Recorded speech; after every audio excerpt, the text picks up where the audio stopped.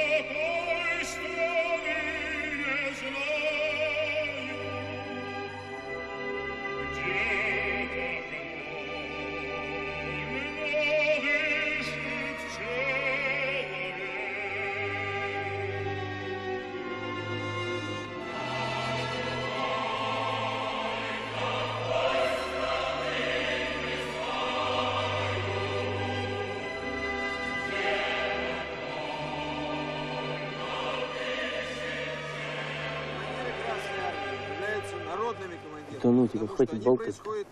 Верно говорю. Спроси у политрука. Зачем спрашивать? Спроси. Пусть он увидит, что ты хоть чем-то интересуешься. Наша армия является народной армией. А народной она является потому, что служит трудовому народу. Офицеры капиталистических армий сами являются капиталистами и служат кучке Одну капиталистов. минуточку, Балашов. Товарищ Чонкин чего-то недопонял. В чем дело, товарищ Чонкин? У меня вопрос, товарищ старший политрук. Слушаю вас. Ну? А правда, что Ну, говорите, говорите, Чонкин. у товарища Сталина две жены?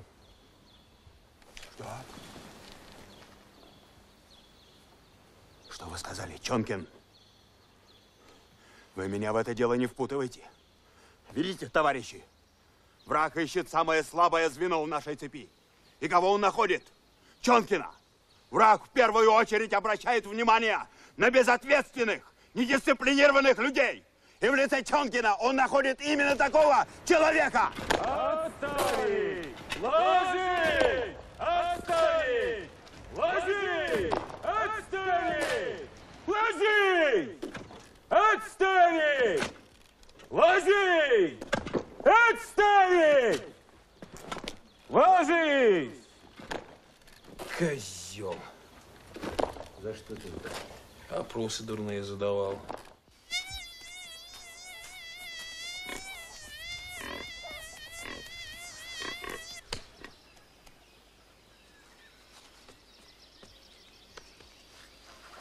Uh...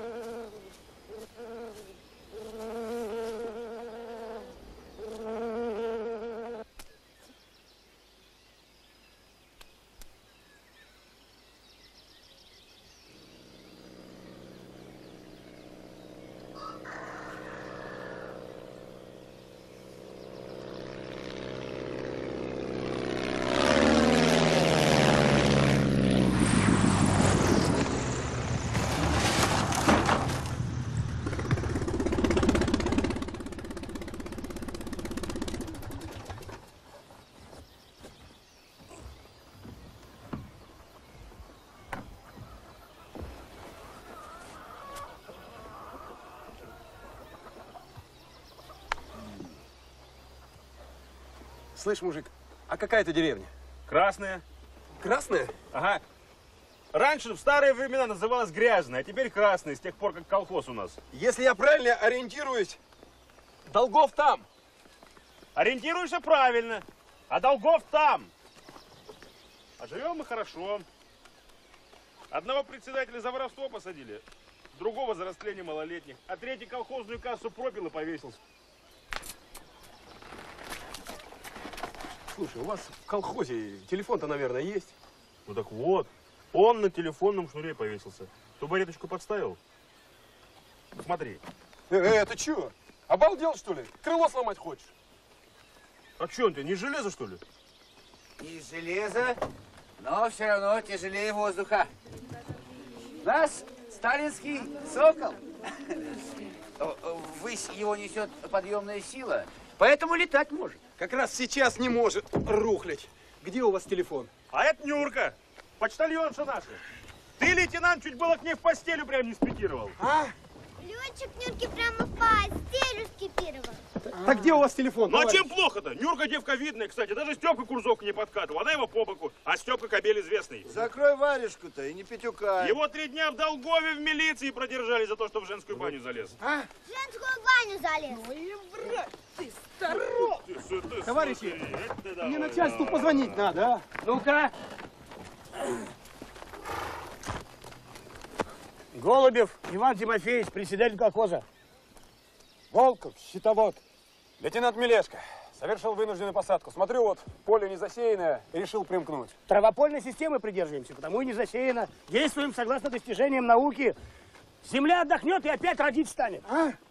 Не засеянным почему? Что и как вы сеете, меня это не интересует. Я просто объясняю, почему именно у вас сел. Товарищ сталинский сокол, как наша деревня сверху выглядит. Деревня как деревня, избы точно коробки, люди не больше муравьев. Э, зато хороша. Ветеран войны. Вот такие вот у нас люди. А это у вас хром или шевро? Э, Не знаю, такое получили. А ты сама пошупай и разберешь. Пошупал, ты боишься, он щекотки боится. У вас позвонить телефон есть? А зачем же сразу по телефону? Ну, вы прежде осмотрелись, с народом побеседовали. Недостатки у нас, конечно, имеются. Но есть и достижения. А? Достижения имеются. А? Достижение! Иван Матвеевич! Тимофеич! Тимофеич, у меня мотор сломался. Ну так вы сразу и сказали. Коля, Степа, ну-ка давай. Сейчас, ребята, Э, глянь. э, ну-ка, отойди, отойди, отойди. Это не трактор, тут нужен механик, специалист. Лейтенант, эти ребята могут любую железяку на куски разобрать и обратно в одно единое сляпать. Что трактор, что самолет? Разницы нету. Там гайки. Здесь гайки. В одну сторону крутишь, в Закручивай. другую сторону. Откручиваешь. Иван Матвеевич, ну сидите. Минуточку! Давай, ну-ка, вы что здесь стали? Ну что, митинг, что ли? Тадыгин, Шикалов, что они здесь зевают? Самолет посмотрели, пилота пощупали. Может, работать пора? Люди добрые, но, к сожалению, грамотные и любопытные страсть. Выпить хотите? Вы мне позвонить дадите или нет? А у нас такая связь, что без пол-литры не разберешься. И садиться вам, конечно, надо было не здесь, а у Староклюквина. Там и ремонтные мастерские есть, и беспорядку побольше, чем у нас. Вот их бы и проверили. Клава, пошла.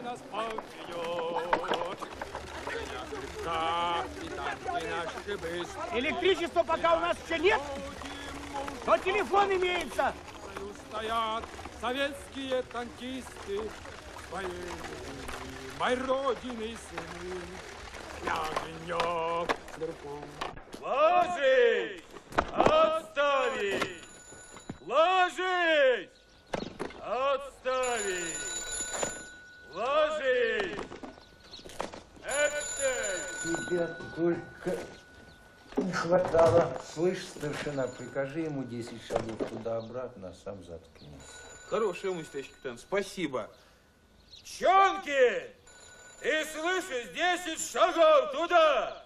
Десять обратно! Шагом! Экс!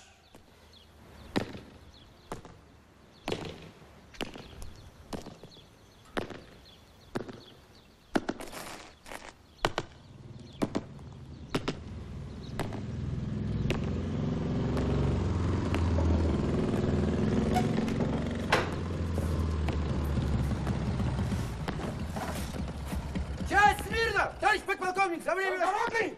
Почему не отвечаешь на звонки? Сам лично удостоверюсь сейчас, что телефон работает, а ты просто трубку не берешь.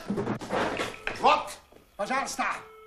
Ей-бог, звонков не было, товарищ полковник. Правда не был, товарищ полковник. Тебя не спрашивают, Завгородный, это твой известный номер. Трубку где поднимать. Ты у меня добьешься. Тут у нас ЧП. Лейтенант Мелечко сел на винужде, у мотора заклинило, нужно заменить. На складе моторов для У-2 нет, товарищ подполковник. Сам знаю, обещали прислать. А пока там надо поставить какой-никакой караул. Людей нет, товарищ подполковник. Комендантская рота в наряде, семь человек в лазарете, 12 на лесозаготовках. Говоришь, людей нет. А этот дурью мается?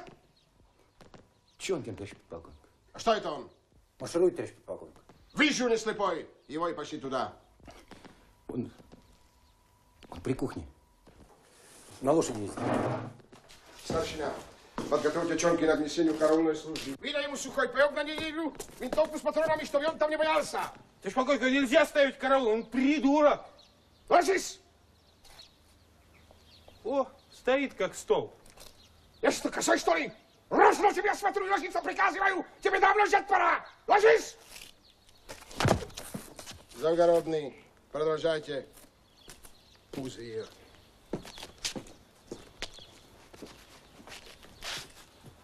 Ложись!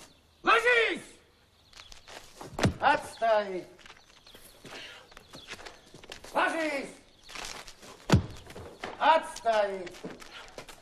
Ложись! Ты машину умеешь водить, служивый? Только лошадей. Самолет или лошадь, разницы нет.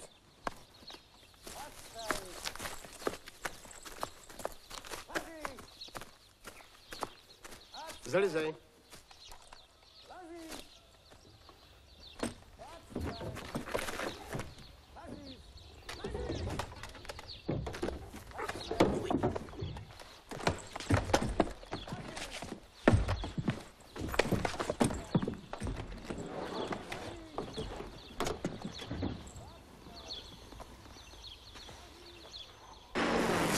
Самолетом управлять просто. Вот так направо, вот так налево. Сам попробуй.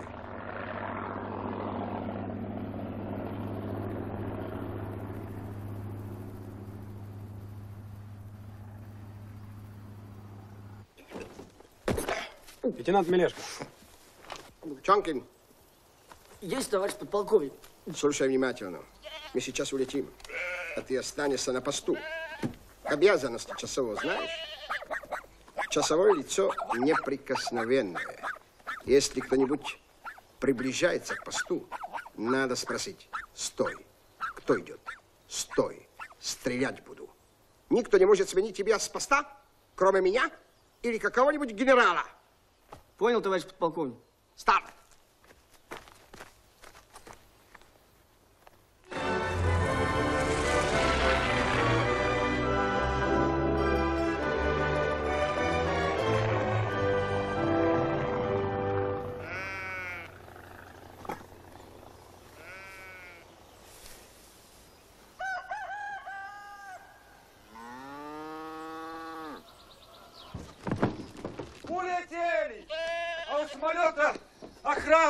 Охрану оставили, солдат с винтовкой. Волков, я тебя ненавижу. Хоть бы раз хорошую новость принес. А что тут плохого, Иван Тимофеевич? Без охраны нельзя, все растащут. Знаешь ведь народ какой. Что тут плохого? Я тебе скажу, что постоянное наблюдение.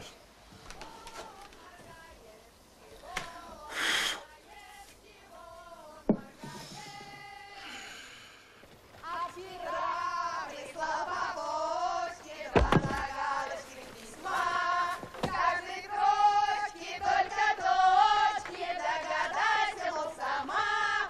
И кто его знает, на что намекает, на что намекает. Эй, девки, вали сюда! Намекает.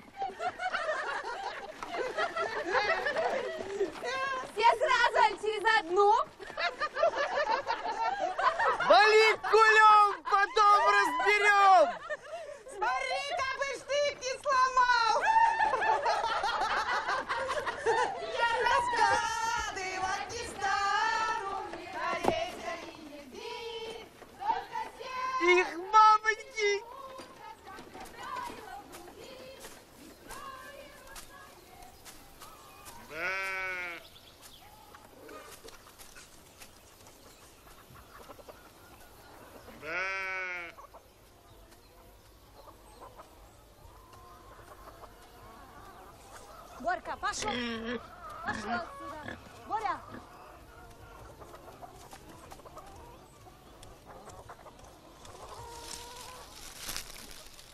Попить охота.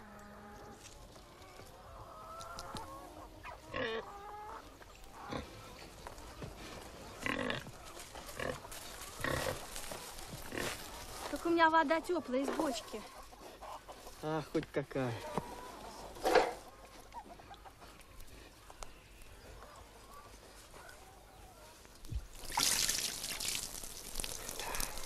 Сразу полегчало.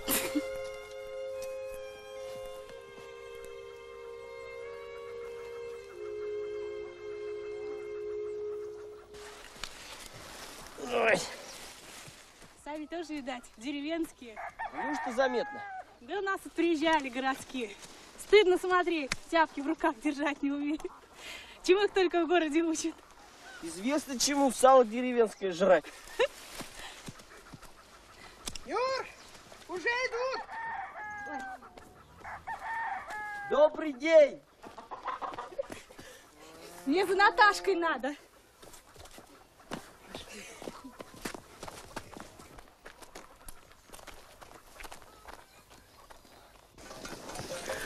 Как его зовут? Не знаю. Холостой? Не знаю. Да, брат, надо сразу спрашивать. Ну, не впрямую, конечно. А по разговору? Хотя все равно соврет. Да зачем ему врать-то? Да мужики всю жизнь врут. А солдату лучше не спрашивать. Скажи, пусть документ покажет. Там записано. Ну, этот-то хороший. Тоже деревенский. Я прежде времени его до себя не допускала бы. Да кто допускает-то? Что, гулящая какая-нибудь, что ли?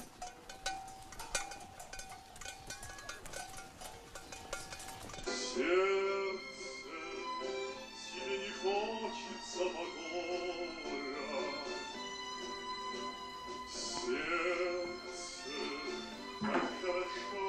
не У Наташки хорошее молоко.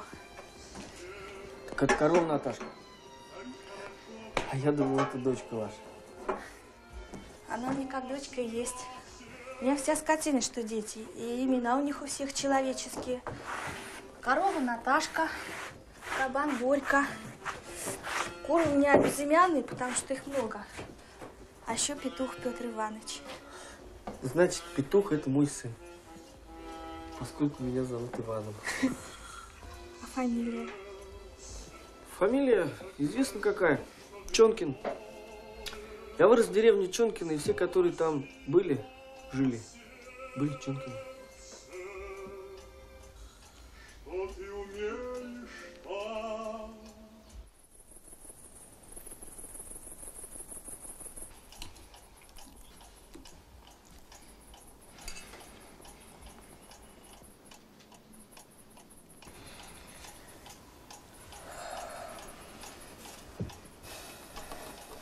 А вы или женатый? Холостой.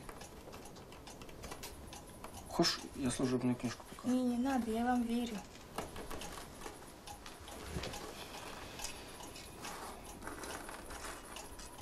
Или лучше да. Чего? Ну, Покажите книжку.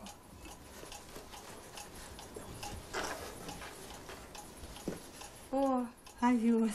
Овес. На роддроме растет.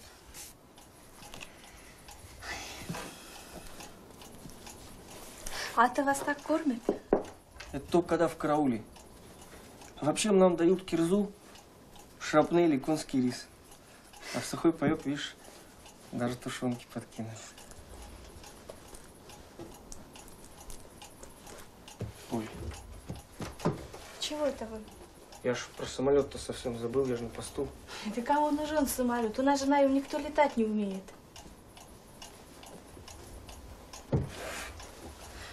Ну, летать не умеет, а утянуть, небось, что-нибудь умеет. Ой, да что у нас народ такой же, что избы никто никогда не запирает. Ну, ладно. Посижу немножко. Народ у нас теперь, Бабдулин, пошел бдительный и, к сожалению, грамотный. А вот почему, к сожалению? А потому что если только бдительный, то это еще не беда. А раз грамотный, стало быть, доносы писать умеет. Правда ты говоришь, Тимофеевич. Но я осторожно. Я вот колхозом управляю, как сверху велят. Но все равно знаю, рано или поздно посадят. Глотни, милок, не пужайся. Похлеще тебя есть разбойники. И живут себе, никого не боятся. Бабдунь, сама знаешь, дела наши колхозные вот так ведь. А в район мы докладываем вот так. И когда-нибудь рано или поздно случится вот что. Ой, чуть. И муха эта раздавленная. Никто иной, как я.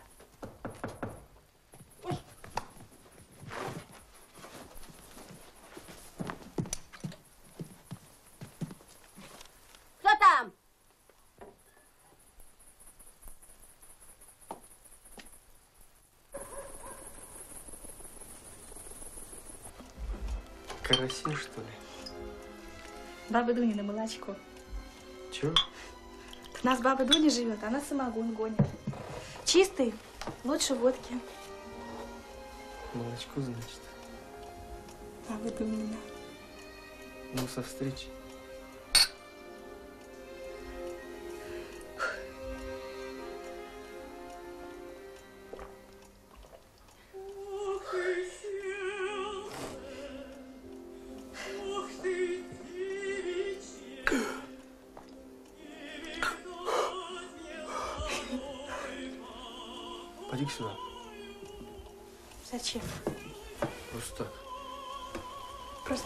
Так поговорить. Как это так? Так бесподобно. Странно получается. Жила все одна да одна, а тут вдруг вы с неба свалились. Самолет штука быстрая. Тут дело такое, Нюра. Вас ведь Нюра звать? М. Мы летчики. Мы специалисты. Каждый что-нибудь умеет. Один снизу вверх, другой сверху вниз. А вы чего умеете? А я специалист по первой части. Жалко, что самолет поломатый, а то бы полетали, да? А если вы хотите, то полетать можно и без самолета.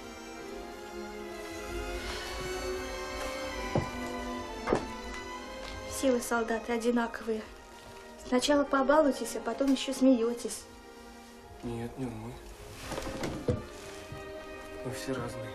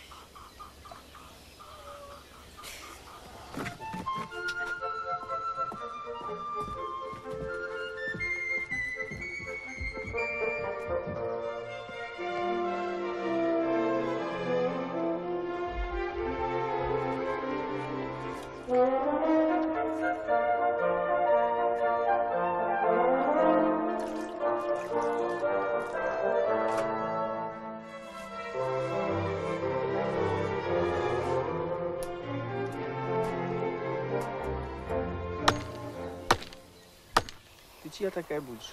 Китина, а ты чей? А я? А я сам свой.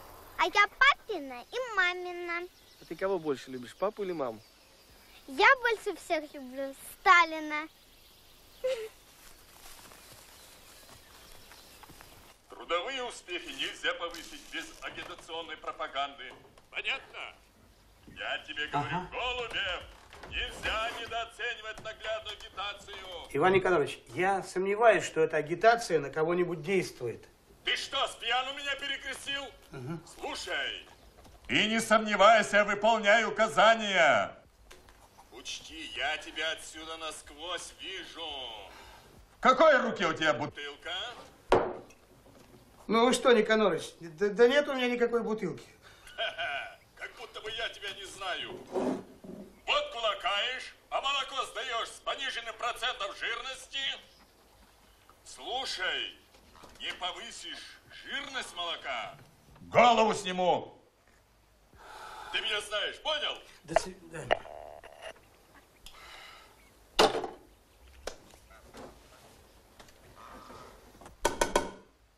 Капитана Милягу. Товарищ капитан, это вас. Алло, капитан Миляга слушает. Здравия желаю, товарищ капитан. Борисов. Товарищ капитан, приглашаю тебя в воскресенье в 6 утра на рыбалку в запретную зону.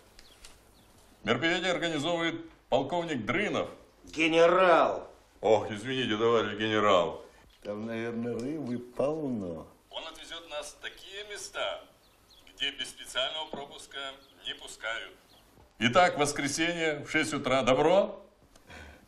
Отлично. В воскресенье в 6 часов договорились. Будьте здоровы. Вот видишь, пока я на рыбалке, тебя уже в живых не будет. Волков, что Борисов сказал насчет жирности молока? Сколько у нас? Три с половиной процента. Сделай четыре. Как же я сделаю? Я же не корова. Ты не корова, ты счетовод. И поэтому отчеты надо уметь округлять. Ты с ума спятил, Тимофеевич. Это же приписка. За это посадят. Если припишешь, может быть и посадят. А если не припишешь, то точно посадят.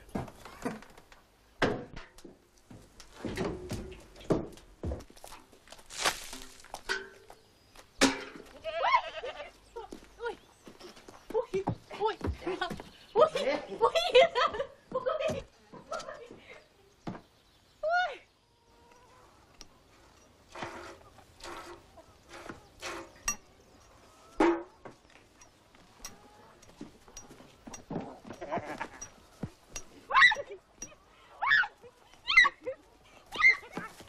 Ваня, не надо, не надо. Ваня, Ваня. Ой, ой, Вань, ну только что это закончили. Вань, ну, может, хватит, а? Ой, ой, нет, нет, нет, нет. Я не могу больше, сволочь, я не могу. А, Склонил свою головушку на правую белую.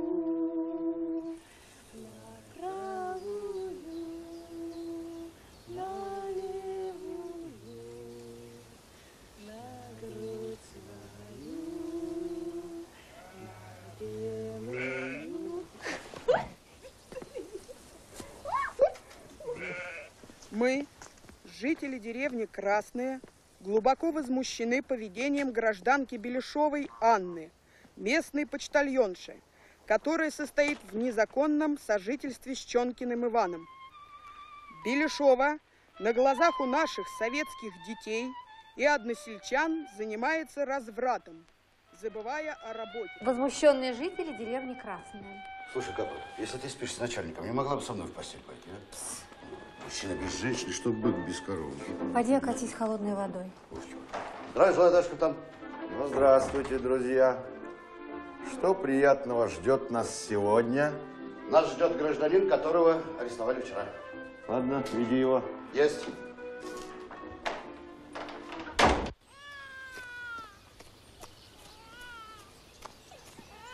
Здравствуйте, как вообще жизнь-то? Добрый день. Приятного аппетита, ребеночку. Проходи смело, со- сосед.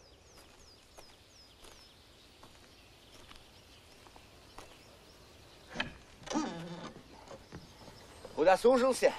Кузьма Матвеевич, понимаешь, тут такое дело. Сижу я здесь десятый день. А гибридов моих не видел. А ты знаешь, что такое гибрид, Вань? Нет, наверное. Если скрестить кошку с собакой, получится гибрид. А как же он будет, лаять или мяукать? Это я не знаю. У меня гибрид растительный. Ты гляди, Ваня, гляди, такого же нигде не увидишь больше. Мой собственный научный гибрид картофеля с помидором. Это как же понимать? Снизу картоха, а сверху помидоры. Так точно. А где же помидор-то? Я не вижу. Ну, рано еще, Вань. Июнь на дворе. К августу поспеет. Знаешь, как называется мой гибрид? Пукс. Путь к социализму. Тебя за этот пукс когда-нибудь посадят. Не обращай внимания, Ваня. Она мне простить не может, что в прошлом году у меня с Пуксом, как говорится, фиаско вышло. Все равно посадят. Или в тюрьму тебя, или в дурдом. Странное дело, Ваня. Лист получился картофельный, а корень томатный. Значит, хрен с маком получил. Гибрид. Ничего, друг мой. В этом году меня непременно ожидает успех. Тогда все газеты про меня писать будут. Ты читать-то умеешь, Вань? Вот, за этим я и пришел. Смотри. Паек мне дали на неделю. А я здесь считаю уже полторы, и никто за мной не летит. Так. Вот надо бы у начальства в письменной форме спросить, как быть дальше. А я писать не мастер. И у Нюрки на шее сидеть не хочу. Ну что ж, надо написать. Расписаться сумеешь? Сумею. Бумага, чернила есть? А как же? Юрка почтальонши работает. Про меня уже писали статью. Селекционер самородок называется. В областной газете не читал? Нет. А напрасно. У меня есть сердце. Не выдержал спекулянт. Капа, почитай какую-нибудь анонимку.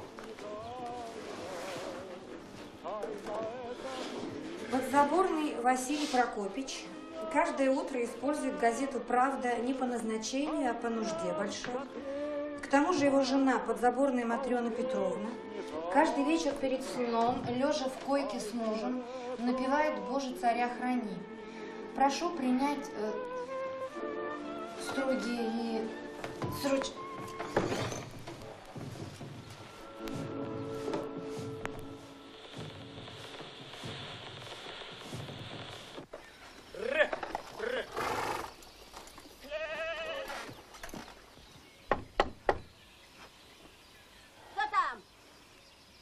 Милиция! Ну, нечто можно старуху так пожать, а? А ты что тут делаешь? Товарищ председатель, пришел проверять хозяйку на предмет установления факта самогоноварения. Ну и как? Факт самогоноварения установлен полностью. Что ты говоришь? Да. Но надо отдать должное, продукция высочайшего качества. Ну, это еще надо проверить. Правильно. Это еще товарищ Ленин, царство ему небесное, завещал. Ты, товарищ, доверяй, но проверяй. Ты имя товарища Ленина не тронь. Оно для каждого трудящегося человека световое. Ну чего тебе? Опять лагерь захотелось?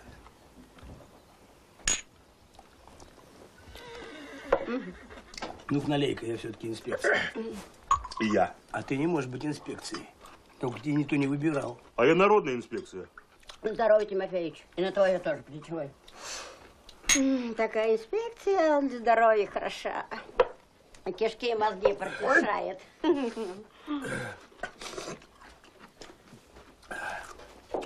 Слухи ходят. Колхозы распускать будут. Колхоз, может, и распустят, а лагеря навряд ли. Ты мне уж скажи, этот солдат, который у Нюрки почтальонши живет, он что вообще-то делает? Ну как что?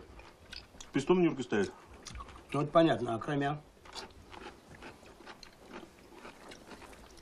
Товарищ председатель, может, конечно, это от темноты, но народ такую думку имеет.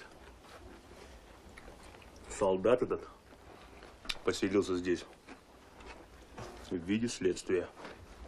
Что ты мелешь? Какое вообще следствие? Не знаю какого. Но знаю, что недаром он шти варит и в фартуке ходит.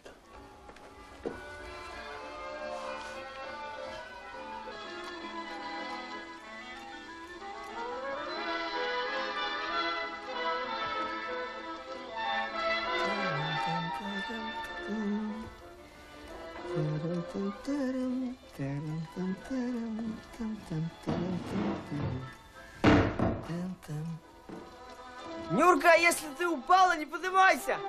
Я сейчас приду, мы вместе поваляемся. Можно войти? Ну, заходите. Я вот так по соседству зашел, чтобы вы не подумали там чего.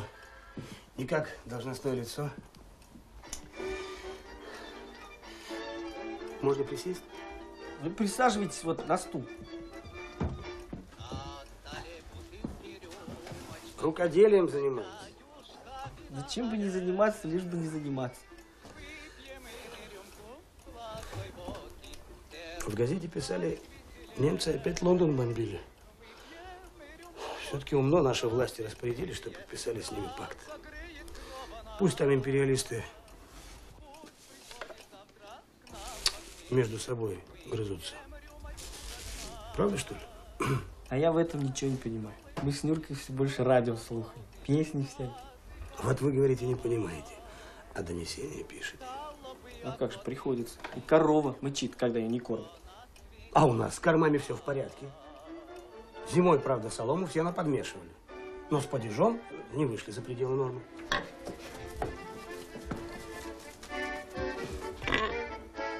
Если те донесли, что мы пшеницу по снегу сеяли, так сеяли. Ну, и что это было вредительство, я понимаю. Но раз так, ты там напиши, почему мы сеяли. Но это было указание из райкома. Видишь, там приказывают, а нам отвечать. Ну что мне, под билет положить? Пожалуйста. Завсегда в левом кармане у сердца. А если в тюрьму, пожалуйста. Я тюрьмы не боюсь. Слушай, председатель, тебе пить надо меньше. Тут ты несешь всякую чепуху. На. Пиши дальше. Пиши, писатель.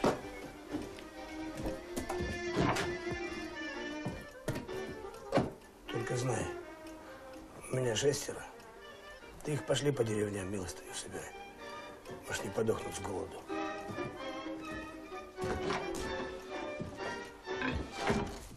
Слышь, а как там насчет питания? В лагере-то? Ну? Компот один раз давали.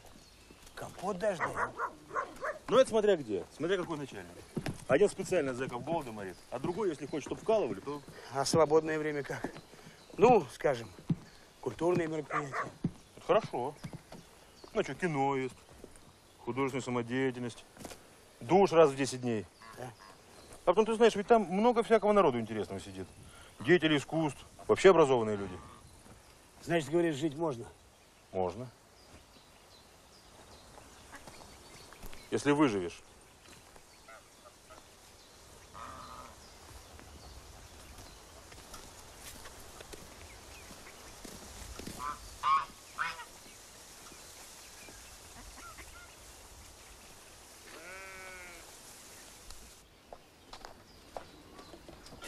Ты, чёрчину, люди ж ходят. Мы сейчас с тобой в избу и под одеяло, и никто не увидит.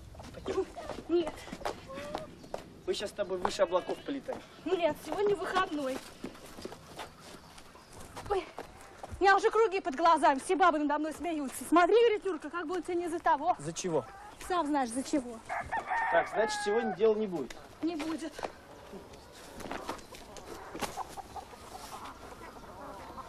Хочу посмотреть, как ты по лестнице лазить умеешь. Настя только раскрылась да рассыпалась. Да отвернись ты! Ага! Надоело на перине! На сеновале захотела! Нет! Нет, дурак! Стены же колючие! Нет! После службы думаешь, тут с Нюркой остаться или как? Я не знаю. Я еще молодой, осмотреться надо. Ну, правильно, правильно.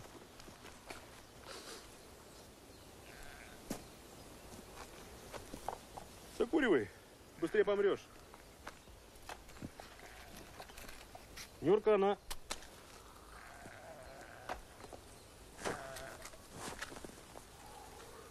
Девка справная.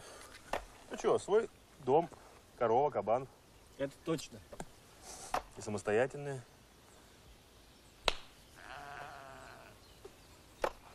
Ни с кем никогда не путалась. Только с Борькой с одним жила. С каким Борькой? Кабаном же, с Борькой. Да ты брось чудить, какого ты еще такого кабанат придумал? А что ты удивляешься? Что тут такого? Нюрка девка в соку, ей же требуется. А где мужика взять? Курзов и обманул, так она, значит, с Борисом. Ну ты сам посуди, ему ж в обед сто лет. Чего ж она его не режет до сих пор? Ну как же можно со зверем-то? Чего ты волнуешься? Какая разница? Лишь бы мужского пола был. Они так одеялком укроются и лежат, как муж и жена. Ну ладно, пойду я. Пора.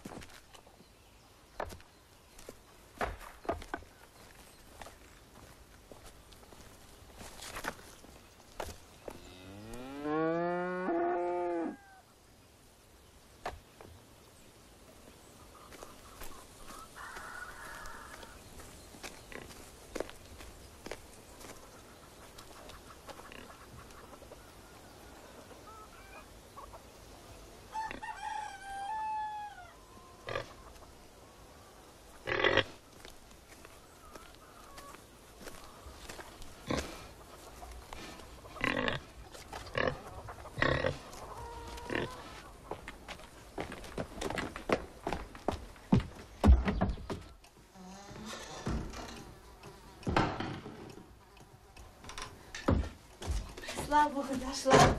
До писем стала, хоть на телеге возить. Пока всех обойдешь. Ты че это, Вань? Ничего.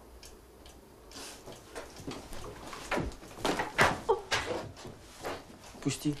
Отпущу, когда скажешь, куда идешь. Хахаля твоего застрелить. Вот куда, понятно? Хахаля? Это какого ж? Борьку твоего. Вот какого. Борьку? Кабана? Вань, ты случайно не чеканулся? Не знаю я, кто из нас чеканулся! Ты мне лучше, стерва, скажи, когда ты с ним снюхалась!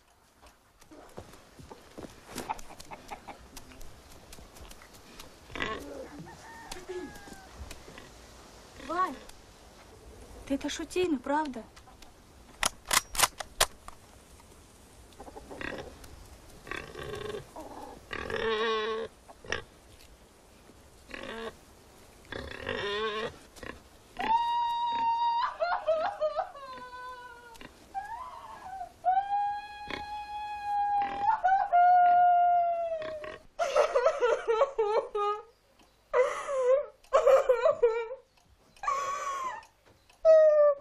Ну, ну ладно, ну Будя, ну.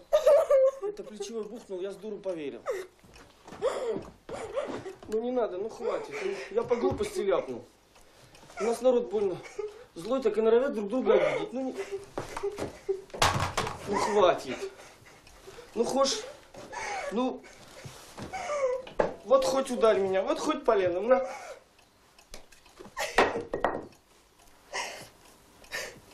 И будешь. И то буду. А то оголодал. Кишка кишке бьет по башке.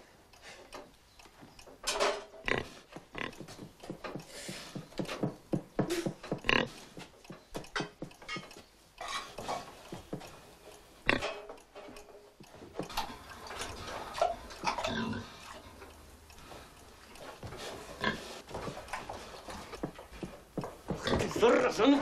Иди отсюда! Ну, пусти! Всем плечевой правду сказал. То зачем его здесь держать? Видать, давно-то было дело. Раз на то пошло, то вопрос стоит так. Либо я, либо кабан. У тебя две минуты на размышление.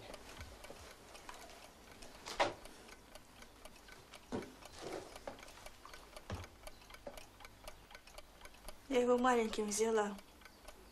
Еще трех дней ему не было и болел. Я, я его молоком кормила, ушки платочком завязывала, грелку прикладывала, словно маленькому. Он меня больше всех любит. Если заплачу, подойдет, бывало, об ноги почешется. Хоть животное все понимает.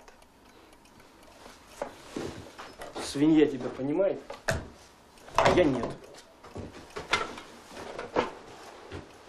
Я не ухожу. Ружье возьму, стрелять не буду.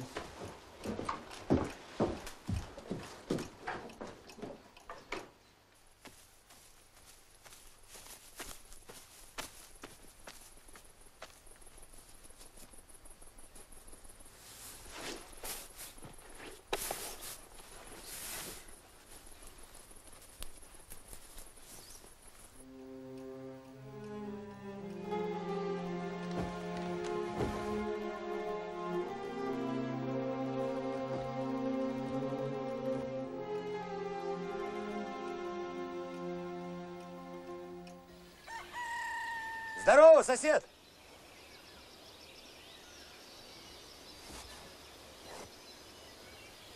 Неужто сегодня полироплан ночевал? А что, время теплое, не зима. Слышь, Кузьма Матвеевич, у тебя нет ничего пожевать, а то я голодал. Пойдем ко мне. Заодно посмотришь, как живу. А я, слышь, с бабой своей поругался. Противоречия, понимаешь ли, неотделимые от диалектики. Вот, например, скажем, я и Афродита. Это одно сплошное противоречие диалектическое. Я тебе говорил, Ваня, что нашего сына Гераклом зовут? Не, не говорил. Звучное античное имя. Ты поменяла пеленки Афродита, а то провоняешь ребенка А, насквозь. тебе, тебе проводь говорит. Беги гости возьму, пусть понюхает, чем нам жить приходится. Сплошное противоречие. Но из противоречия, Ваня, рождается прогресс. После Пукса приступаю к научным исследованиям. Как воспроизвести человечество без участия женщин? А что, малость нос пришивает, да? У меня тут удобрение. Я тут разные виды экскрементов, понимаю, дерьма, перемешиваю. Лошадиное, коровье, козье, свиное и нашинское, благодаря чему достигаю удивительных результатов. А к запаху быстро привыкаешь. Я-то уже и не замечаю.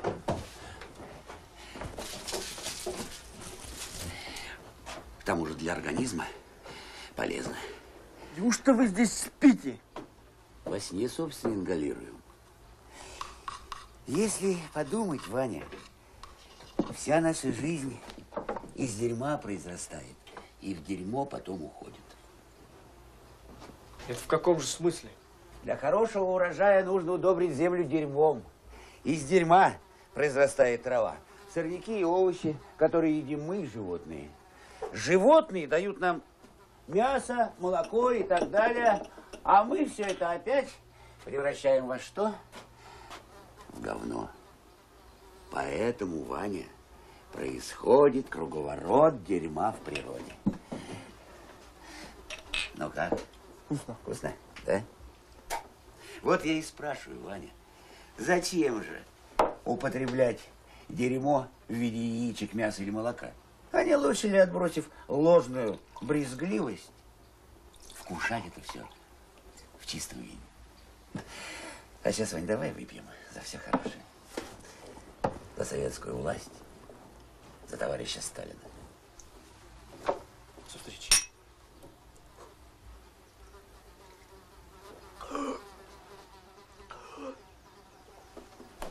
Как самогоночка. Первачок, что надо. Думал, дух вышли. С хлеба или свеклы? Из дерьма, Вань. Как же? Рецепт простой. На кило дерьма кило сахара.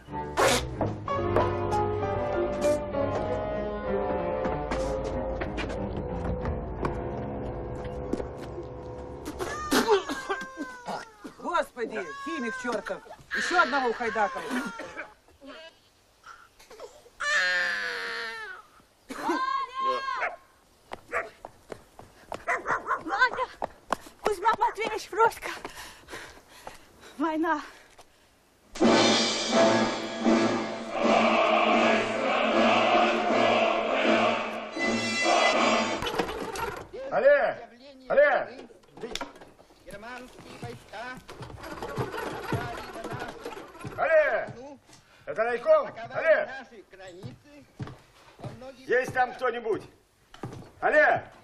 Борисову, что я трезвый. Брось болтать, ответил кто-то. Это райком? Да какая рыба? Мне рыба не нужна. Товарища Борисова позовите. Киев бомбили. Киев бомбили. Киев бомбили. Причем... Киев бомбили, дубина! А ты мне своей рыбой линию занимаешь. На удар мы ответим ударом. На удар мы ответим ударом. На удар мы ответим ударом. Девушка, то, что у тебя самовар и одеяло сперли, нам на это наплевать. Да ты хоть утопись, а линию освободи. Мне до зарезу с Борисовым поговорить надо. Поняла? Фуй. Конец известий. Ну что теперь? Мы полностью отрезаны от начальства. Указаний никаких. А народ ждет.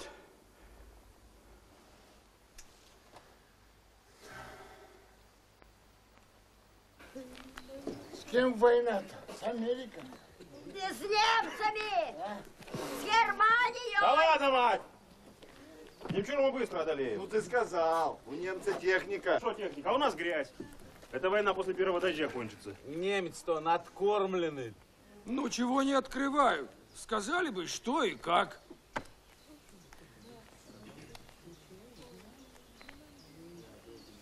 А может, им пластинку поставить? Заведи им телефон. Ага. Олег!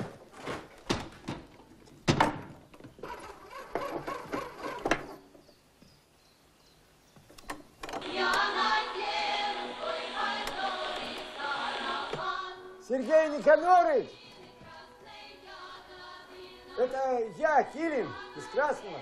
Мы тут э, с Голубевым сколько тебе дозваниваемся, да связи нет. Положение серьезное, а указаний никаких. Указаний у тебя нет. Не поступали? А ты, когда по нужде ходишь, ширинку сам себе расстегиваешь или ждешь указаний? Ты, ты, ты, ты пойми, Сергей Никонорович, э, опасаемся как бы политические ошибки не совершить. Проведи митинг стихийный, собери народ. Народ уже давно собрался. Не понял. Чего недопонял, Сергей Никонорович? Не понял, как это народ собрался, Что когда говорит? его никто не собирал. Никто не собирал. Поверишь, как только услышали сообщение по радио, сами все сразу сбежали. Услышали по радио, сами все сбежались. Это тебя в какой такой академии учили, чтобы народ без партийного контроля сбегался? Ты же сам говоришь, стихийный митинг. Стихии, товарищ Кирин, надо управлять, иначе анархия получается.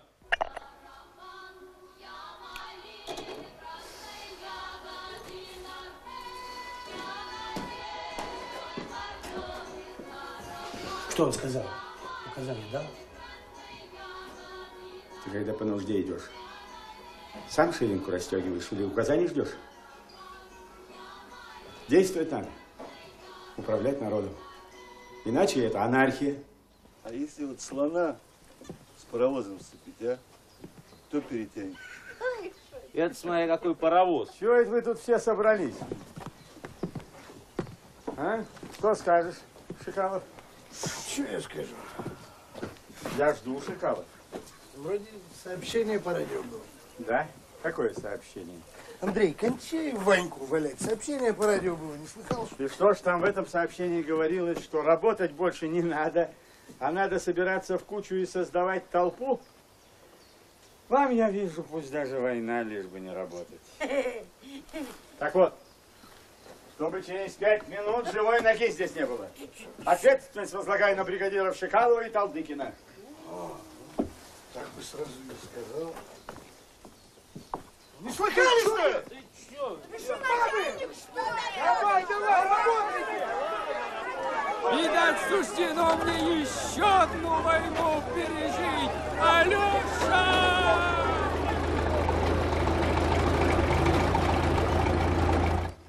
Рассуждай так, Нюра. Если бы здесь был мой командир, он сказал, Чонки, замаскируй как следует свой драндулет, чтобы его немец не увидал. Раз тут нет моего командира, значит, я себе сам должен приказы давать. Какой же ты умный, Ванечка. Нюш, знаешь, что я тебе скажу? Нам на политзанятиях говорили, что Бога нет. А мне кажется, что тебя такую один только он и мог сотворить.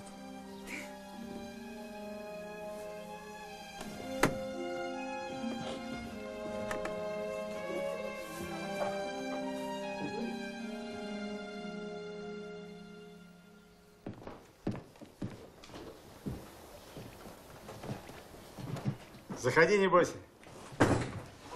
Всех разогнал. Всех? Всех. Всех до одного?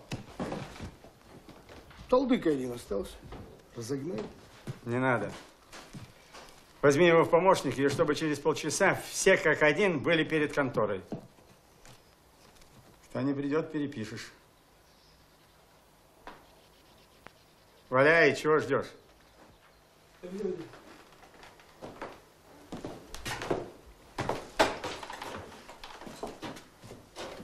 Куда идем? Народ обратно к конторе созывать. А по что же мы их Не разгоняем? знаю, начальство виднее, не головки. О, о, о, какие! Все Ленины. А нам об этом ничего думать. Начнешь думать и думаешь, что ж там дураки-то наверху. Ох ты.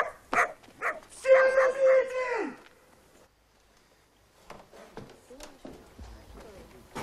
Хватит.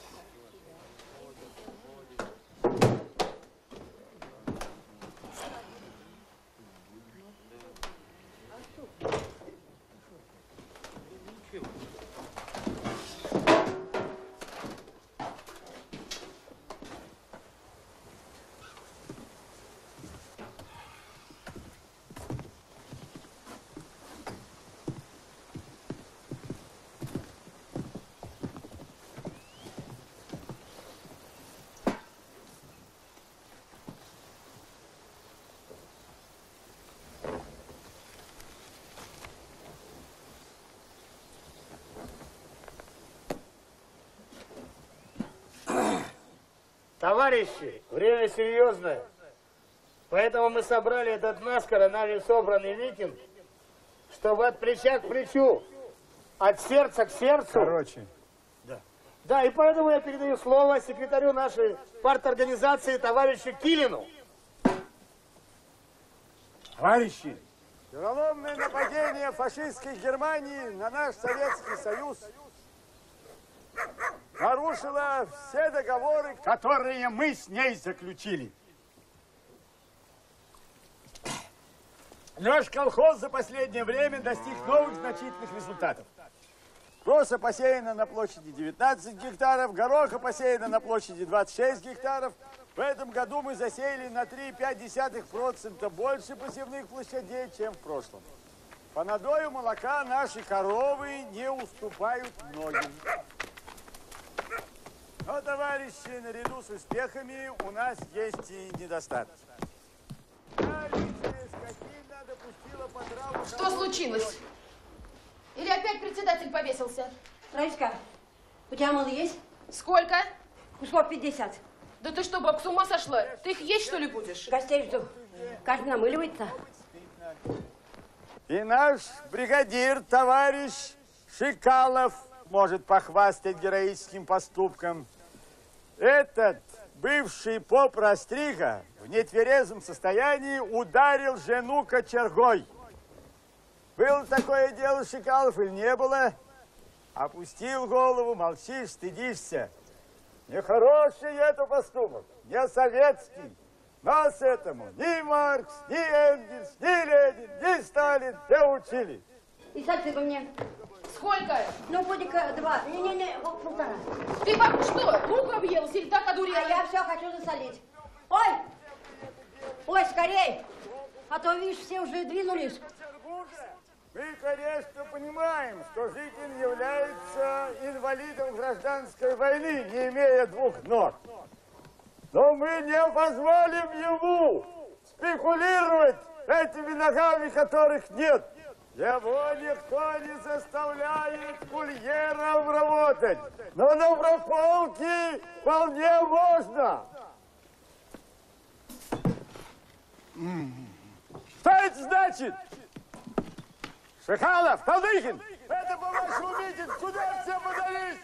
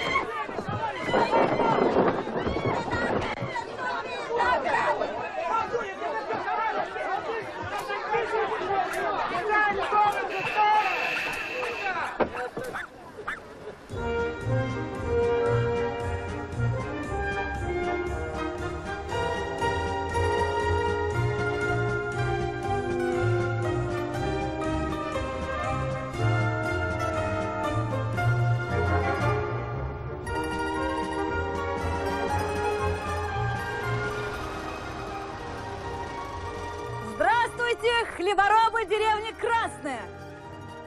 Вы, конечно, знаете, кто я? Это ж наш Люшка. Люшка. Люшка. Да, это я. Вы, конечно, знаете, что пять лет тому назад, как лучшая доярка, я лично говорила с товарищем Сталиным. Вот потому я и приехала. Земляки, товарищ Сталин шлет вам пламенный привет! Товарищи мужики, идите и выполните свой мужеский долг до конца. Коварный враг напал на нашу родину. Идите на фронт и боритесь за нее до последнего дыхания. А за нас не беспокойтесь, мы вас заменим. Привет народному собранию деревни Красная. Наше дело правое, мы победим. Ну,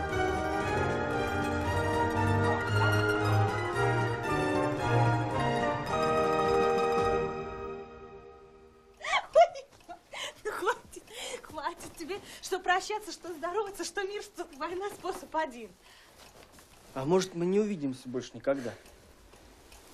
И будешь потом жалеть, что не дала Ване Чонкин. А Ваня Чонкин будет уже далеко. А может, уже и мертвый.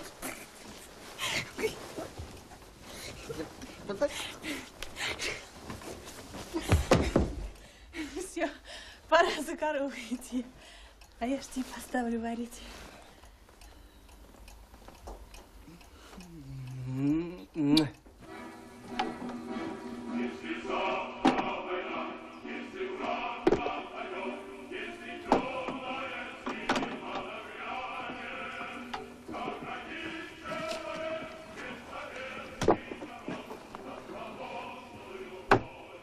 Годен.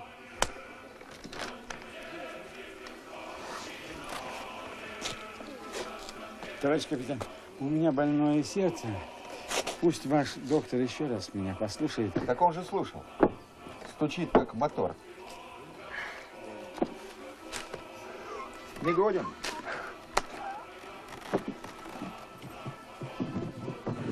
Кроме того, я здесь единственный партийный работник. Я даже не представляю... Малагал к телефону. В армии тоже нужны политические работники, товарищ Килин.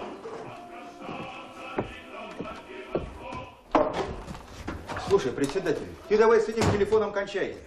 А то меня совсем развезет. Жара. У кого закалка, не развезет. Я чего хотел сказать. Слышь?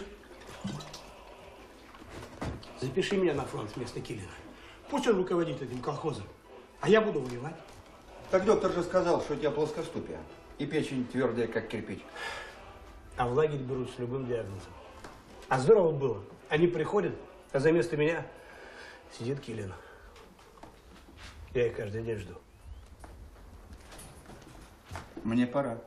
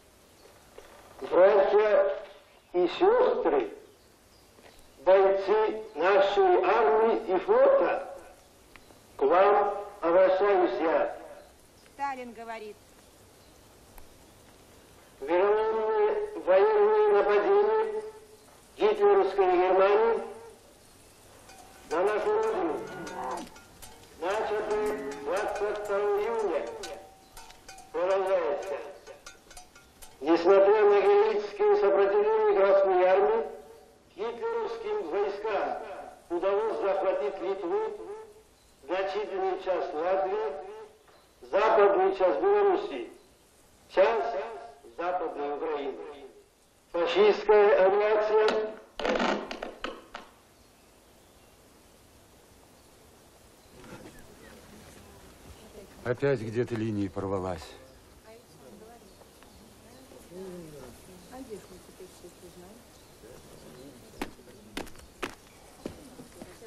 Товарищ капитан, боец Чонкин, разрешите обратиться? Уважай. Я стою здесь на посту, и уже месяц, считай. Я даже письмо послал. Что? Вы на посту? А кто вам разрешил его покидать? Кры! Хм! На пост! Бегом! Марш!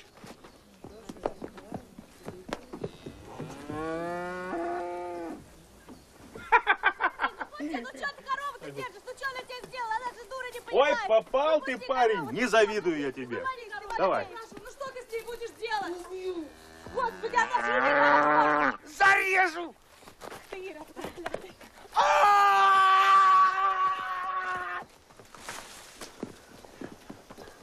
Жила?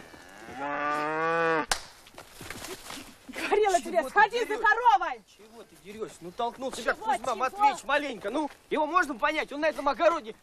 Кузьма Матвеевич, не серчай. Ты как ученый знаешь, у коровы нет соображений. Это мое, а это другое. Уйди, приблудный! Пусти, Кузьма Матвеевич, мы тебе с за огород что-нибудь заплатим.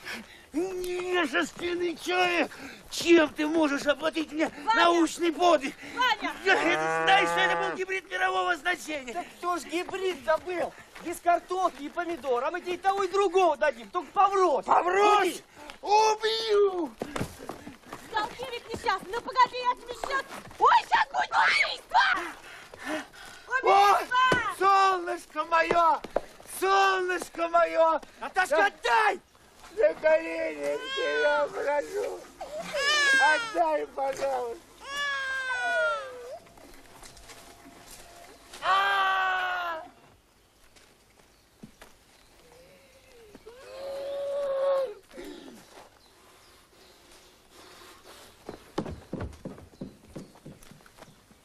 Все, кино не будет.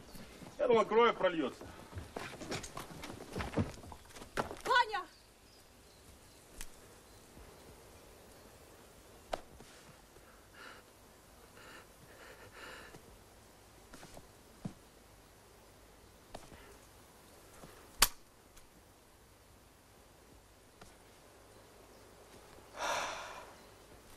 Дурачок!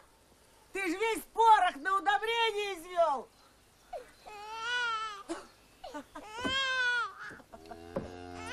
Слышь, сосед, ты не переживай.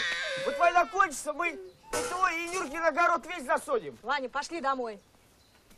Горе Лук, он же тебя убить хотел. Ну ты что, что хотел? Видишь, в каком он расстройстве? Пойдем.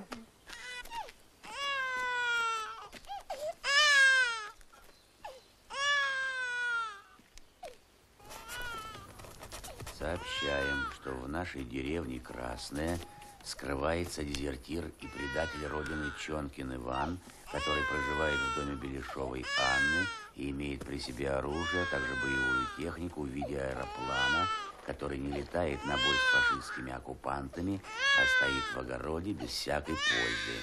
В период тяжелых для нашей страны испытаний красноармеец Чонкин Иван на фронте не воюет, а занимается похабством во внебрачной связи. Скотина Беляшовой Анны по его инициативе допустила преступную потраву опытного участка известного селекционера Гладышева Кузьмы, чем, безусловно, нанесен урон советской науке. Просим унять опасного дезертира и привлечь к ответственности по закону. Бдительные жители деревни Красная. Что ты скажешь, а? Написано, между прочим, левой рукой. У нас все анонимщики пишут левой рукой. Слушай, Капа, ну давай хоть разок-то, а? Ну переспим раз. Пойди окатись холодной водой. Добрый день, друзья. Здравия желаю, товарищ капитан. Ну, что приятного ждет нас сегодня? Интересно, анонимка? Да? Это что, подарок или взятка? Это вещественное доказательство, товарищ капитан. Конфисковал уже, да, которого арестовали. Не у жида, у еврея. Веди его сюда. Сейчас приведу.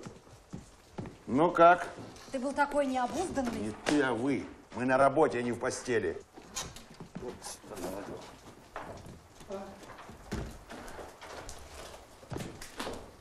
Здравствуйте, начальник. Здравствуйте. О, вы тоже еврей? Нет, я не еврей. Правда?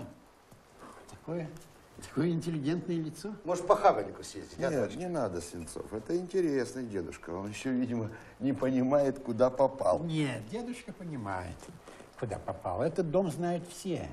И я обходят десятой улицей. Только я не боюсь. И честному человеку нечего бояться. Так Циля моя, Циля моя всегда так говорит. Кого это мы застрелили? Корягина, товарищ капитан, расстреляли. Его дело изъять из Ну, картотеки? конечно. Зачем оно нам, раз его уже нет? Ну, война. Ничего не поделаешь. В область отправлять некогда. Приходится управляться самим. Да, но у вас на столе мои сапоги. Я ими не спекулировал, начальник, я их шил.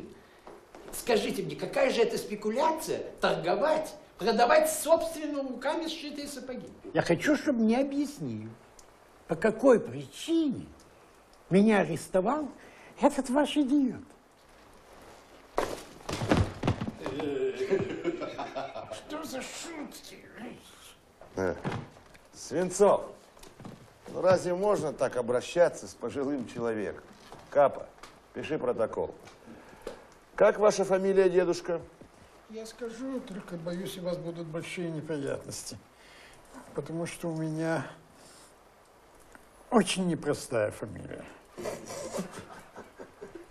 И какая же это у вас такая фамилия непростая? Сталин.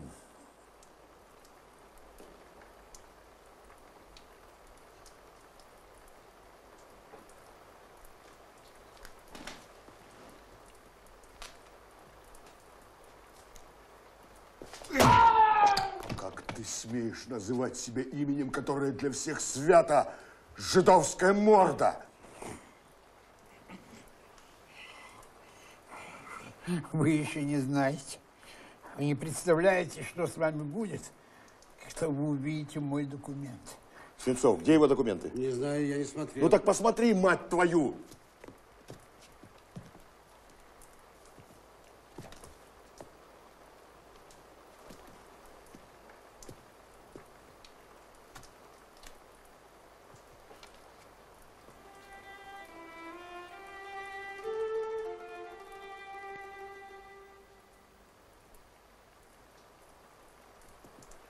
Всем выйти! Вон!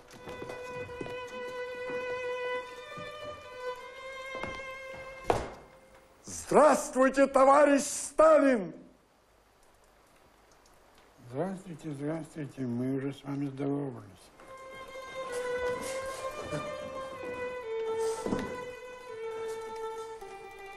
Значит, вы папа товарища Сталина. Испугался бандит. Ай, скотина, скотина. Где же я теперь возьму такие зубы? а? Мы сделаем вам новые. Хотел бы я знать, где.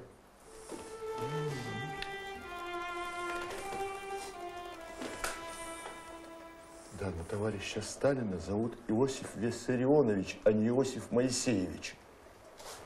Свинцов! Не зовите сюда этого идиота, если до кого дойдет, что вы задержали и били Сталина. Пусть не того Сталина, даже не его папу, но Сталина. Вы даже не представляете, что с вами будет. Вы меня звали, товарищ капитан? Пошел вон! Вот паспорт. Вот ваши сапоги. Мы с вами не виделись. Ясно? И ясно, мы же с вами видели. И вы мне сломали протез. Я дам распоряжение, вам сделают новый протез. Капа, выпиши, товарищу, направление в поликлинику. Может, вы его еще на курорт отправите? Люблю Крым. Жемчужина юга. Только боюсь, скоро туда войдут немцы. А почему бы нам его не расстрелять? Ситуация нам позволяет. Пиши, Капочка, пиши.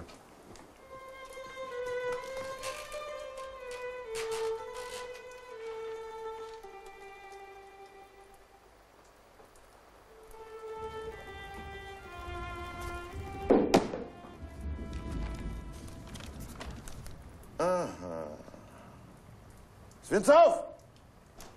Завтра утром едем в Красное. Приготовь ордер на арест. Дезертиром займемся. Еще! Давай, ну! Еще давай! Я ж так раз там далеко. Недалеко уже, с бугром будет видно. А вам там кого? Дезертира! Акопов, не болтай! Что я сказал такого? Что сказал?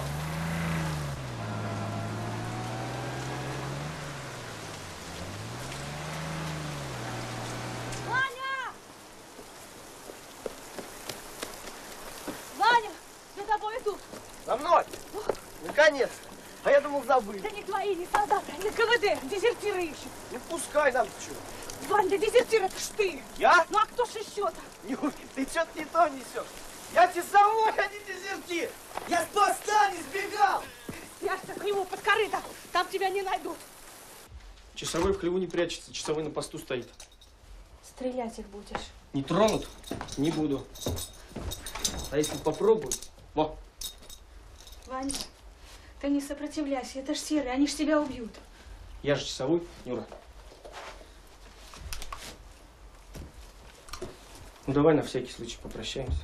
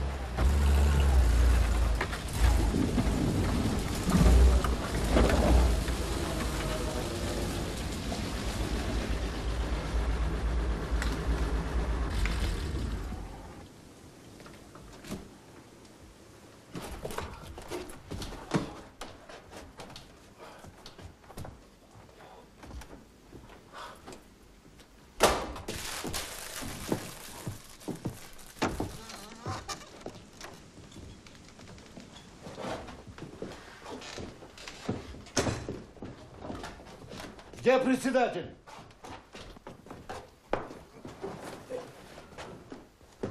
Где председатель?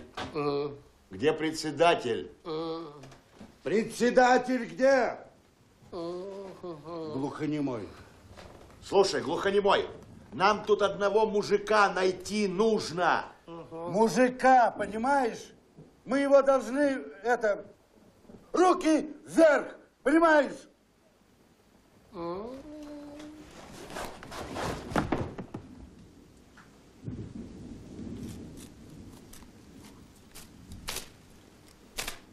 Гляди, бумагу жрет. Интересно, зачем, а? Люди нас так боятся, Свинцов, что это даже затрудняет нашу работу.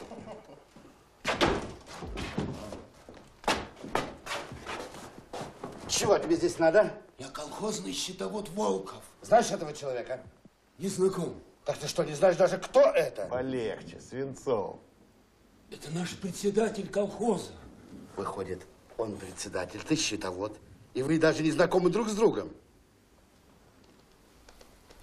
Мы встречались только по службе. Личных отношений не было. Ты нас боишься, а? Товарищ капитан тебя вежливо спрашивает. Так ты падла, ему вежливо отвечай. Тебе нечего бояться. Солдат Чонкин – дезертир. Где его можно найти? Он у почтальонши живет.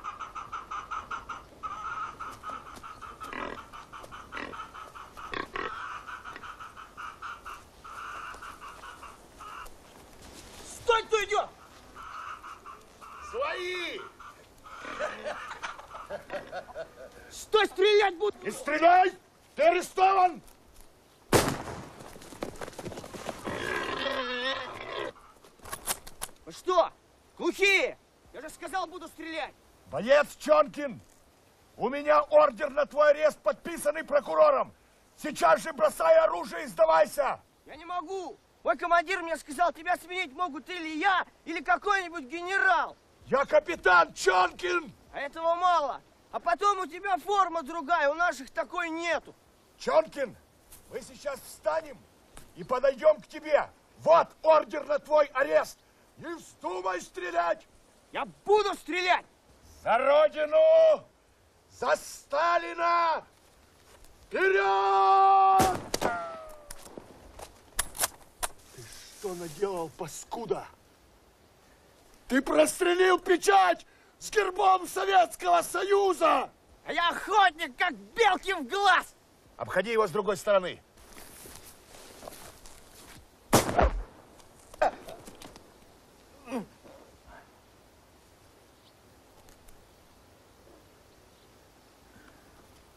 А ну бросай пистолет, а то заколю! Всем нельзя! Кто шевельнется, сразу стреляй! Сучка белобрысая! Ваня, он обзывается! Я еще раз обзовется, башку прострелю. Вы окружены. У меня трое детей. Не дайте крови зайти, перевяжите. Перевяжем, перевяжем. Мы вас сейчас тут всех перевяжем.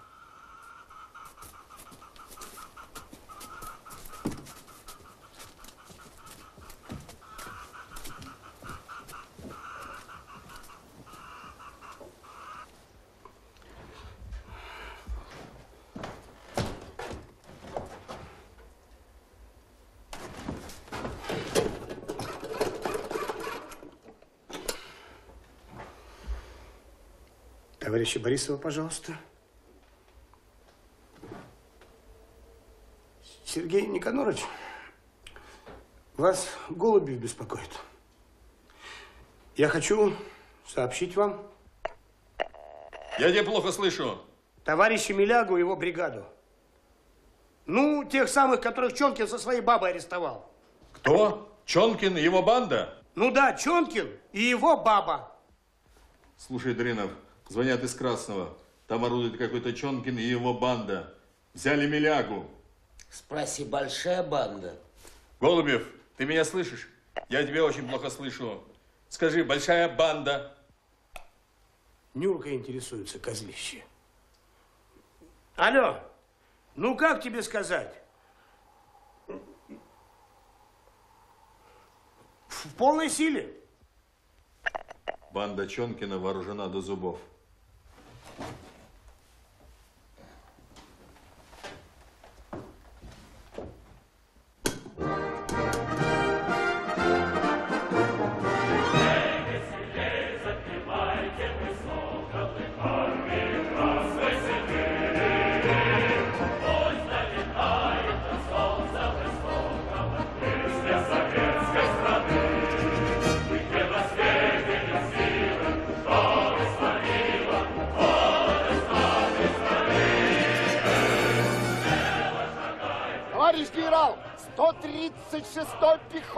полк следует на вокзал.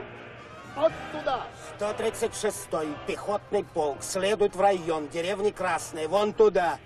Окружить ночью, окопаться, операцией буду руководить лично я. Все. Есть. Полк!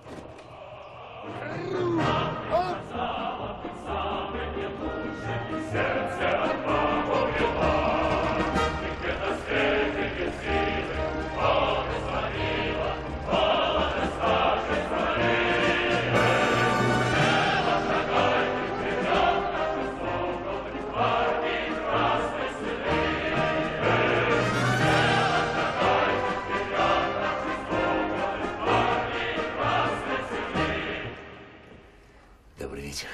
Матвеич, заходи.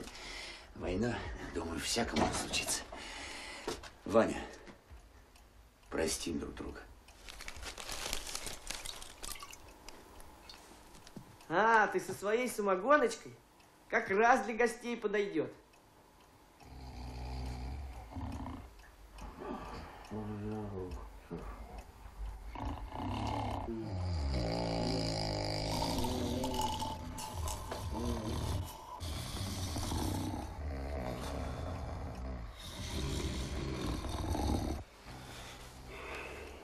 Вот так повернешь.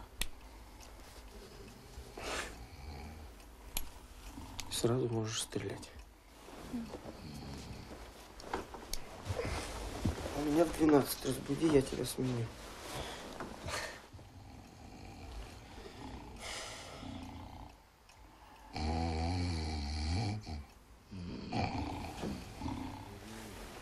Вань, А, а что если нам на твоем самолете улететь? у него же мотор поломатый. А ежели бы он летал, меня бы тут не было.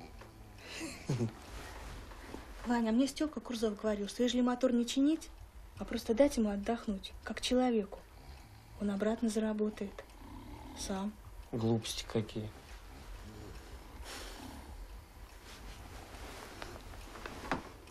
Мне сон приснился, Вань. Будто мы летим с тобой по небу. И всей нашей деревни рукой машем. А небо голубое-голубое. И мы плывем, словно птицы. Далеко-далеко. Да. Так то сон.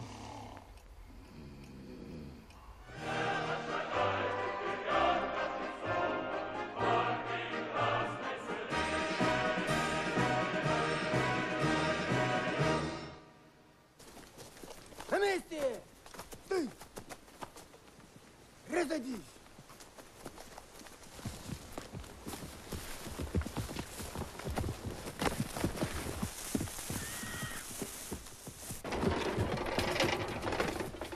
Сколько у нас снарядов для пушки? Три, товарищ генерал. Сколько у нас пулеметов? Всего четыре. Это уже прилично. Иди сюда. Значит так, пулемет номер один подтянешь вот сюда, к колхозной конторе. Я убежден, что ихний штаб находится именно там. Пулемет номер два поставишь вот сюда. Пулемет номер три. Товарищ генерал, у нас пулеметов достаточно, но патронов к ним нету ни одного. Услышишь, что ли? Орленок! Я ласточка! Орленок, орленок, я ласточка! Орленок! Орленок, я ласточка!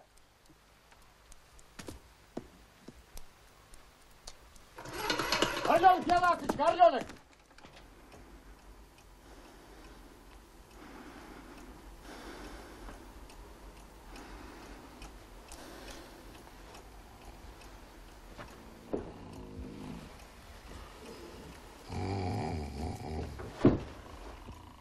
Хочу по нужде.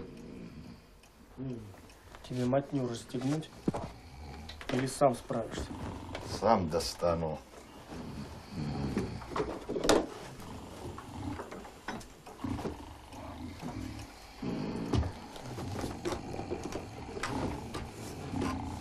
Смотри, как дерну, отзывайся.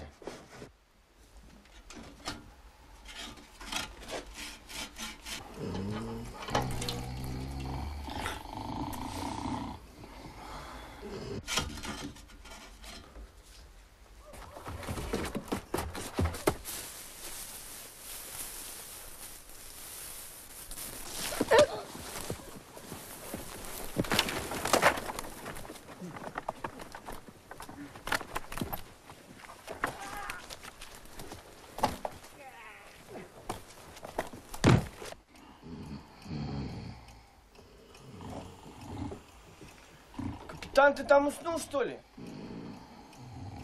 Или ты веревку проглотил?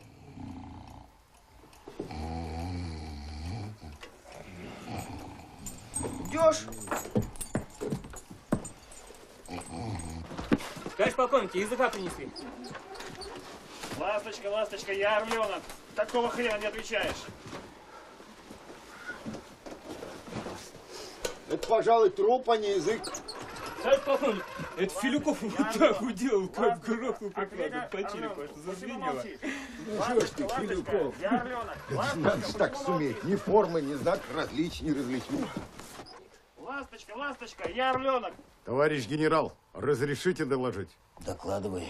Сержант Сырых и рядовой Филиков только что вернулись из разведки. Взяли языка. Да это интересно, он что-нибудь рассказал? Не сказал ничего, он без сознания. Разведчики, когда брали его, перестарались. Приложили прикладом по черепу. Молодцы. Ну что это за язык, если он без сознания? Кто был в разведке? Сырых и Филюков.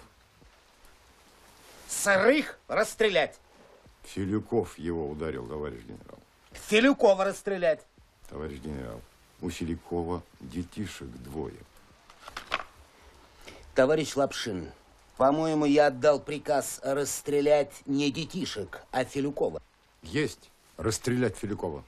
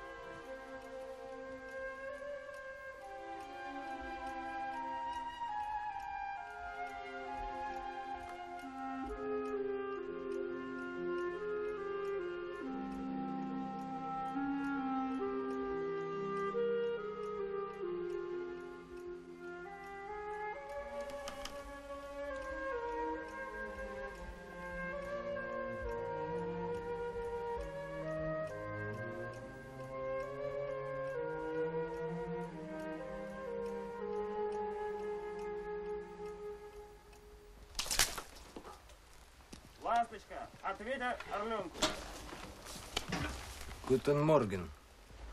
Guten Morgen, Herr. Der Name? Ich? Ja. Ich bin Kapitän Milaga. Was? Kapitän Millek. Millek. Verstehen? Verstehen Sie, Herr Oberst? Ich sage alles, ja? Und du nicht kaputt, ich, ja? Ja, aber du musst sagen ganz Pravda. Wissen Sie, was ist das Pravda? Pravda? Ja, ich wissen. Ich bin ist, ich bin ist arbeiten in Russisch Gestapo. Gestapo? Ja, ja. Haben Sie in Gestapo много Kommunisten strilliert? Ja, natürlich. Und Kommunisten und Bespartinen. Alles wir paff, sech. Du, du Hund! Wo ist твой Verband disloziert? Heil Hitler! Stalin kaputt! Du, du, schmutzig, schmutzig, черт, как сказать свинья? Schwein! Спасибо. Du schmutzig Schwein. Wo sind deine Soldaten und wie viel? Dort, dort ist äh, Haus Potsdam, Frau und dort ist Chonkin. Äh, Er hat Flugzeug und mein Gruppen äh, russisch Gestapo ist dort связаны Веревкин, verstehen? Товарищ генерал, младший лейтенант Букашев, допрошенный мною язык оказался офицером гестапо Миллигом, признался, что участвовал в расстрелах коммунистов и беспартийных советских граждан. Гестапо ведь ведет себя как фанатик, выкрикивает «Хай Гитлер» и «Сталин капут». Отлично, Букашев. Гестаповца расстрелять. Есть! Я вот узнал, что у вас боеприпасов нет. Так точно, товарищ генерал. Ну как же так, черт побери, а? Боеприпасы мы должны были на вокзале получить. Завтра на рассвете начинаем атаку.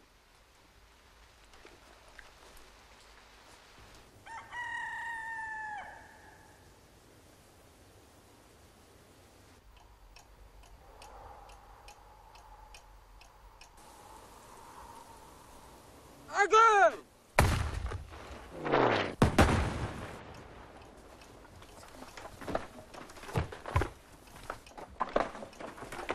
Юрка, немцы.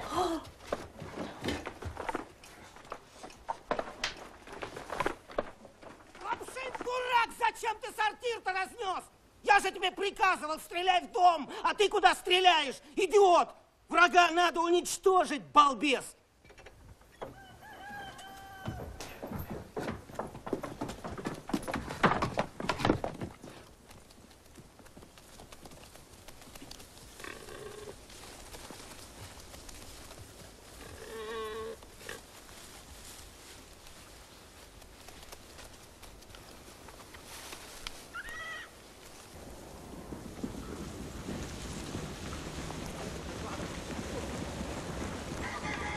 Немцы, ну-ка. Они, дураки, думали, что у нас в России всегда снег, даже в июле. На что, других маск-халатов нет? Только такие, товарищ полковник. А генерал именно такие требует? Именно такие. Но он не знает, что они белые. А почему не стреляют? Не получили снаряды. А генерал знает? Знает, приказано атаковать зажигательными бутылками, а потом на штыки, как в 17-м.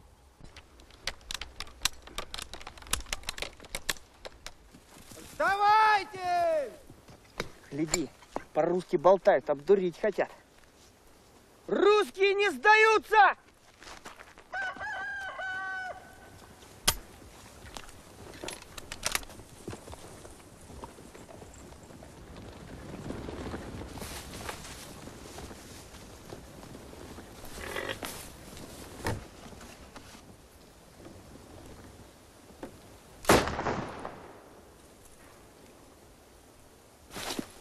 Ну ты, Нюрка, голова! Ну-ка, шмальни по этим немцам!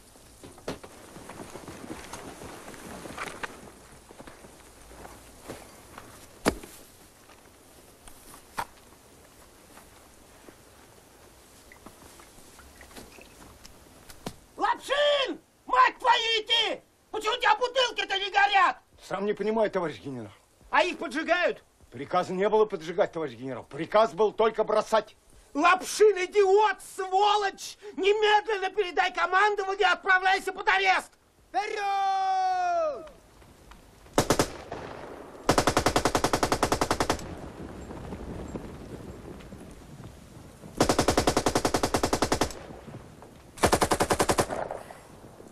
Уведи Борьку отсюда.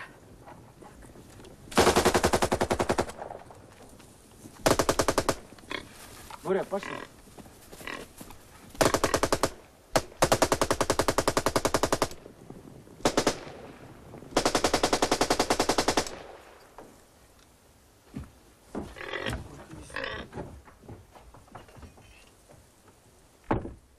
Лапшин! Вы что там спите, что ли? Когда вы, наконец, в дом попадете, для чего вас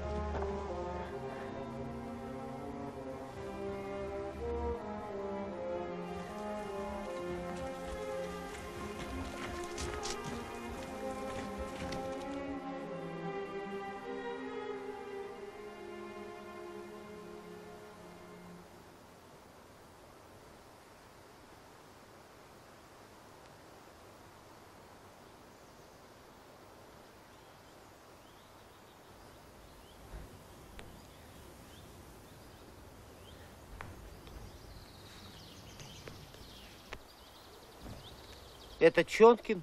Да, это Ваня Чонкин, мой муж. А это кто? Откуда я знаю? Командир какой-то. Генерал. Я что, сплю, что ли? Нет, не спишь.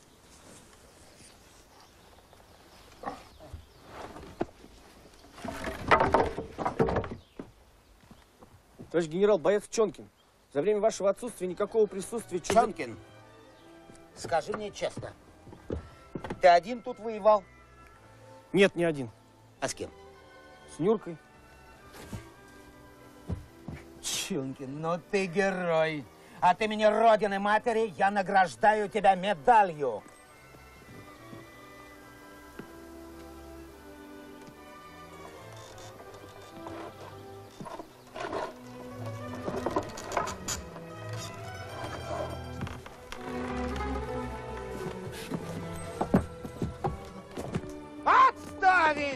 Генерал Чонкин дезертира должен арестовать. Где ордер? Вот ордер на его арест, подписанный прокурором. А где печать? В расстрельном бою. Товарищ генерал, разрешите нам самим этим заняться. У нас здесь...